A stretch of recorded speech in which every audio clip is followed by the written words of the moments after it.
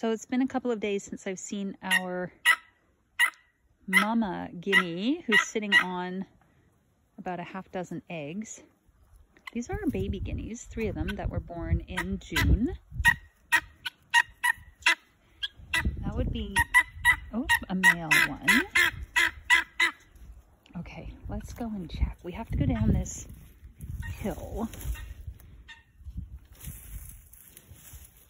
And over some rocks and across some prickly um, bushes, some wild roses, and we have these fallen trees, so I'm going to carefully, she's there. Okay, I'm going to show you guys. Hi, Mama. Hi, Mama. Oh, there. she is. Quite, well, we'll see if we can go under here.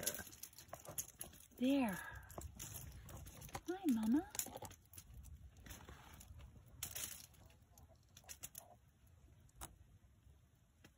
So that is a female guinea sitting on eggs. And what the female guineas do is it's never, of course, in a safe place like their house where they go at night.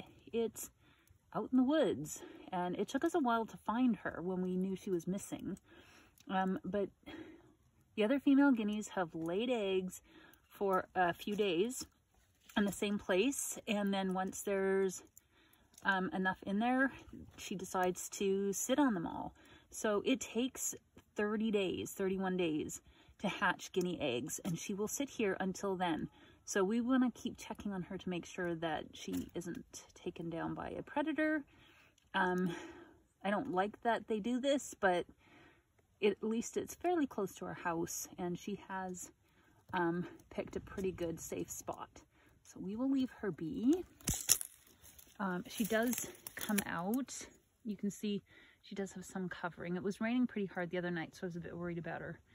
Um, but they seem to make it. And we'll just keep checking on her.